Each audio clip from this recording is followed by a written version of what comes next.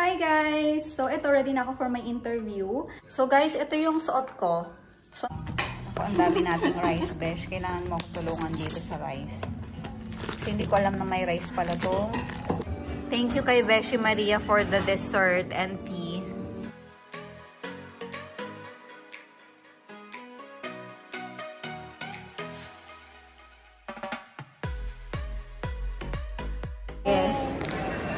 Ganda dito guys, oh. Diba? So, pupunta lang kami ngayon sa American Eagle.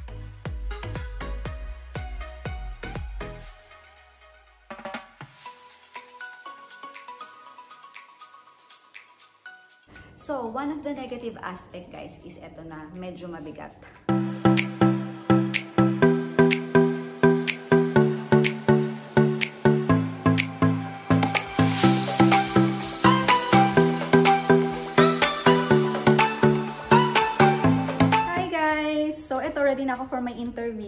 My interview is at around 12 p.m.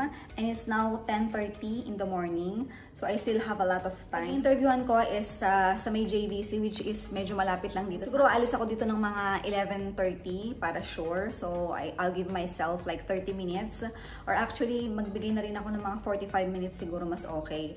Siguro I'll just leave here at 11.15. Kahapon lang nila ako sinenda ng invitation na magpa-interview nga daw ako today.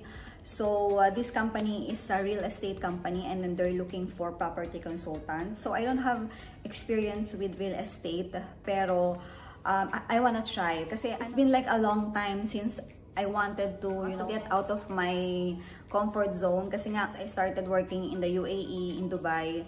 I always work in the office, like as in 9 to 5 or 9 to 6 office hours. It's either in admin or in HR. So, syempre, nasa office lang talaga. So, I always wanted or I always dreamt of like exploring new opportunities. So, this one is something that interests me, real estate. Wala namang masama siguro kung subukan. And at the same time, I'll learn something from this. Syempre, this is something na na may apply ko in the future. So, kung ipoporso ko talaga yung mag-work as a consultant. As I said, um, I don't have high expectation on this because first, I don't have an experience. Second, alam niyo naman, pandemic. And I'm sure maraming nag apply maraming walang work, maraming gustong magtrabaho. Sure, marami akong kakompetensya na baka may experience sila sa real estate. So, dun pa lang talo na ako. But we never know kung para sa'yo, para sa'yo. So, let's see. So, guys, ito yung suot ko. So, naka-close shoes. Yan, naka-dress lang ako with belt. So, I'm ready. Hi guys! So, ito, tapos na yung interview ko. Um, mamaya ako na i-chika sa inyo guys kasi nagda-drive ako. So, ayan. Naka-stop. Ay, nag-go na. Hala, nag-go na guys. Wait lang ah.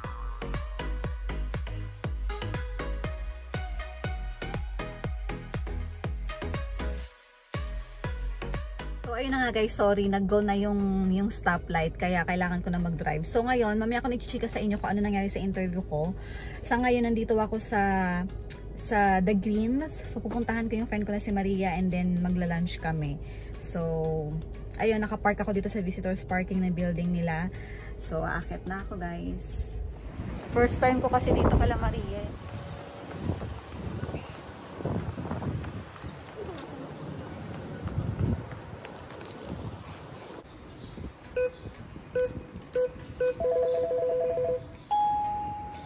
The door is open. Please close the door behind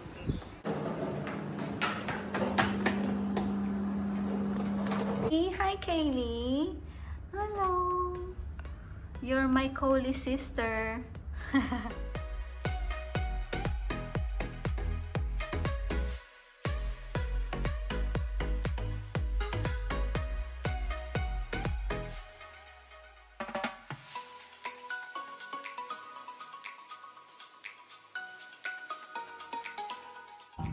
ang dami nating rice, besh. Kailangan mo ako tulungan dito sa rice.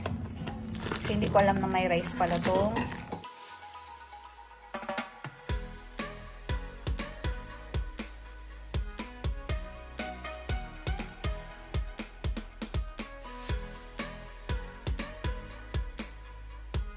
Nag-order ako ng, ano ba to? Sitaw. Sitaw kalabasa, ginataan.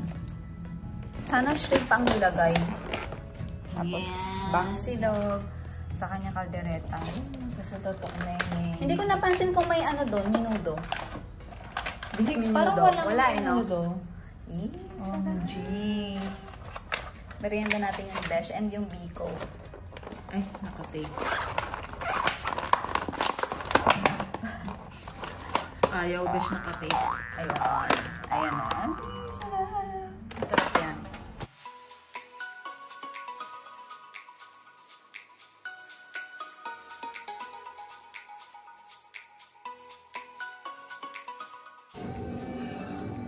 Thank you kay Beshi Maria for the dessert and tea. Siyempre, we're watching Mulan. Ganda. So, ayun, pagkakataon ko ng mag-mirror video. Ganda kasi, Besh. Ang ganda yung elevator niyo, oh. Gusto ko yung lighting niya, parang asosyal. Pansin mo? parang hotel, no? No, parang pang hotel. Ay. So, we're going to Ibn Batuta. Yay! Wala sa plano. Ito na naman kami sa biglaan. Nasaan ka nag-park? Dito, Besh. Ito. Ayan. Tignan mo. Buti na lang dumating ako ng maaga. Tignan mo. Puno na sila kanina. Ako lang dito eh. Ito sa'yo eh. Ah, diba?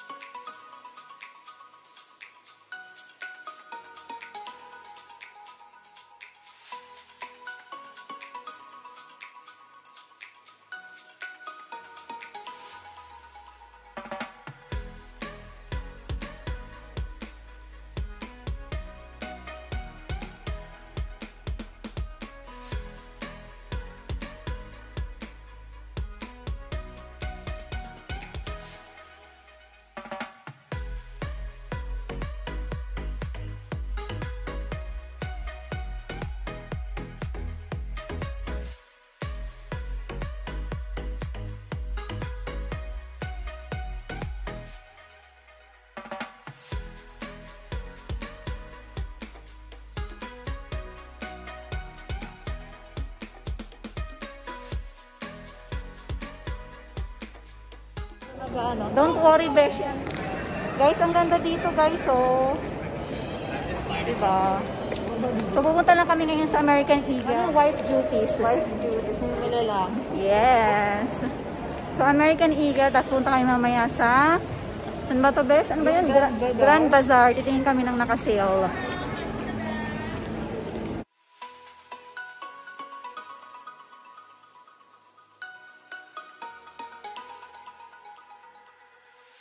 Half price, guys. Buy one. Ano to? Buy one toy and get the second at half price.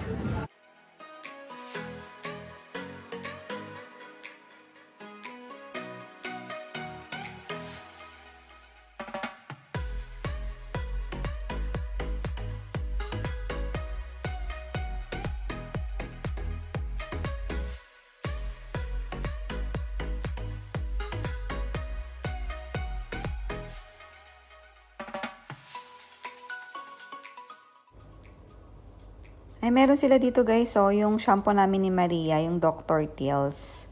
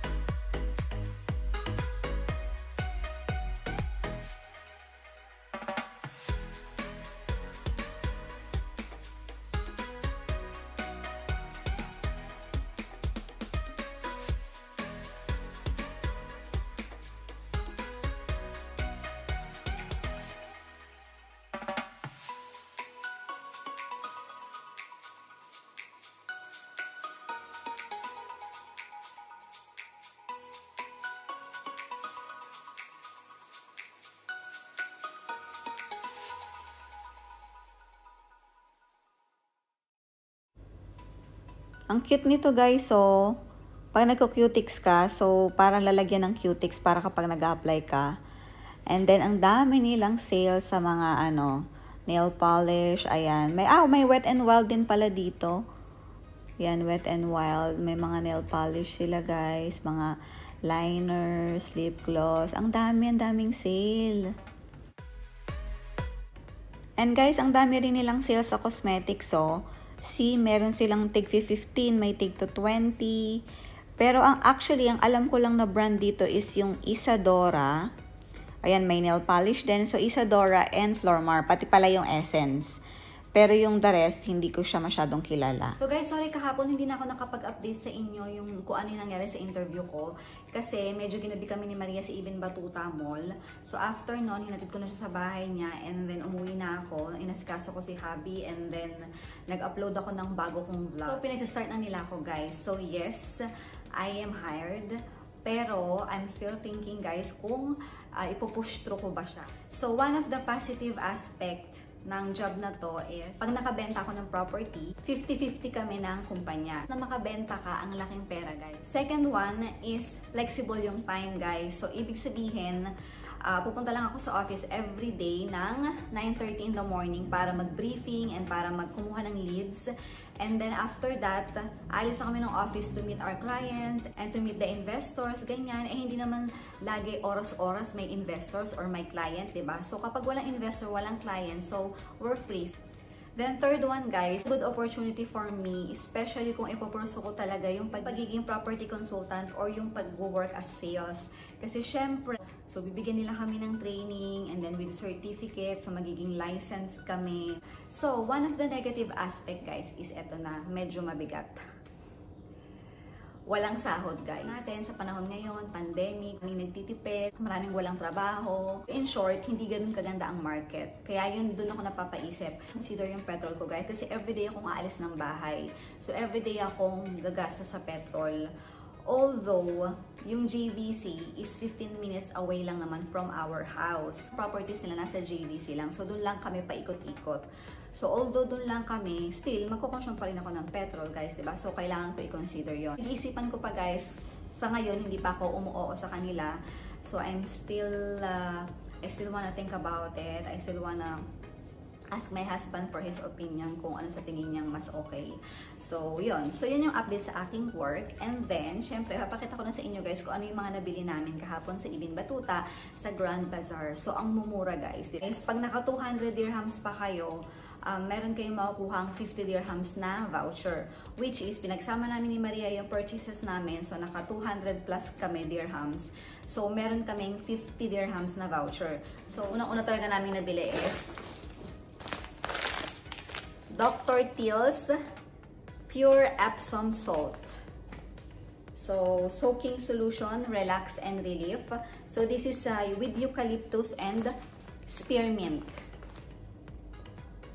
So, ito guys, ano, para kay Hadi. Kasi di ba mahilig siya mag-bathtub. Kasi ang sabi dito, yung Epsom salt daw and essential oils eases aches and soreness from muscle pain. So, ito, perfect to kay Habi kasi nga, lagi siyang may mga backache, mga leg ache, mga ganon. So, tapos sabi pa dito, relaxes body and relieves mind. So, pang distress guys.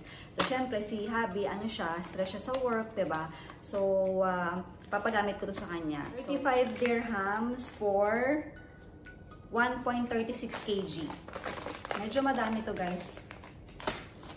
Next na bili ko is itong sandals from College Springs. Super cute niya, guys. So, para siyang Hermes style. ba diba? Yung shape niya, parang ginaya nila sa Hermes. Pero this one is super glittery or super sparkly. Which is, nahihilig ako sa mga sparkly-sparkly, guys. So, this is perfect. So, nung nakita ko to guys, hindi ko na talaga binitawan. Actually, nagkaroon pa ng eksena kasi yung isa hawak ko, yung isa hawak ng isang customer. Tapos, ang sabi ng sales agent, ma'am, kukunin po ni madam yung sandals na hawak niyo. Sabi ko, hala, eh, gusto ko din to eh. So, syempre guys, pinaglaban ko and nag-give up yung isa. So, ako yung nakakuha. Ako ang nagwagi. so, guys, syempre pag gusto niyo isang bagay, huwag niyong pakakawalan. Pag gusto niyo yung isang bagay, ipaglaban niyo. Ganun yun. So, maraming mura sa clothes guys. Nakabili ako ng tatlo. So, first one na nakuha ko guys, ito. Cute lang kasi siya. See? So, this is from Tally Wagel. Tally Wagel. Yan. Yan yung brand. And, from 25 euros, ano na lang siya, 25 dirhams ko lang nabili. Kakaiba kasi. Gusto ko yung medyo kakaiba. So, ayan. Ang cute to. O, diba?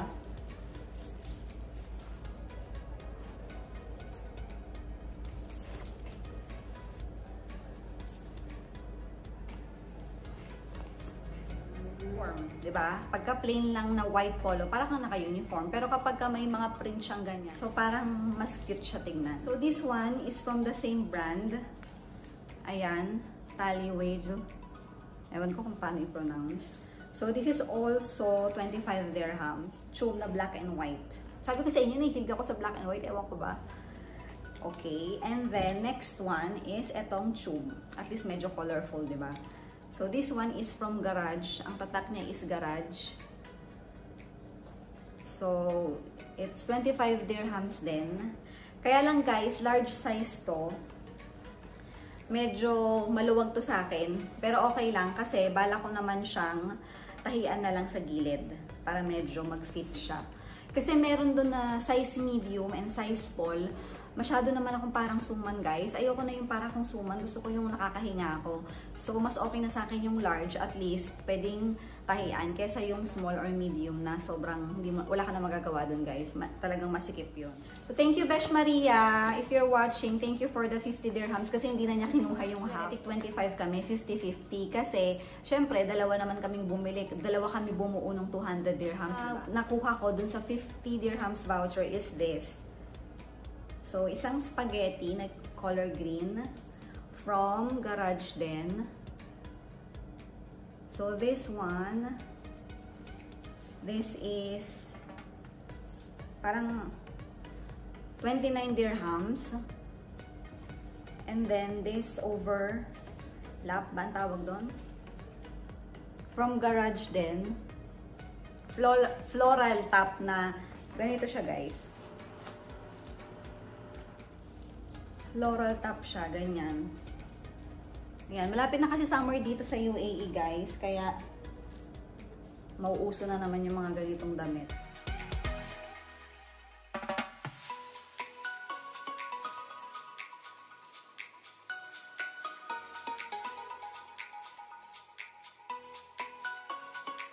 So, 30 dirhams to plus 29 dirhams, so 59. So, nagbayad na lang ako ng 9 dirhams, so, diba? Guys, so successful naman yung lakad ko kahapon with my interview and with my shopping. So, yun lang guys. I hope you like this video and I hope to see you again on my next one. Don't forget to hit that like button, subscribe.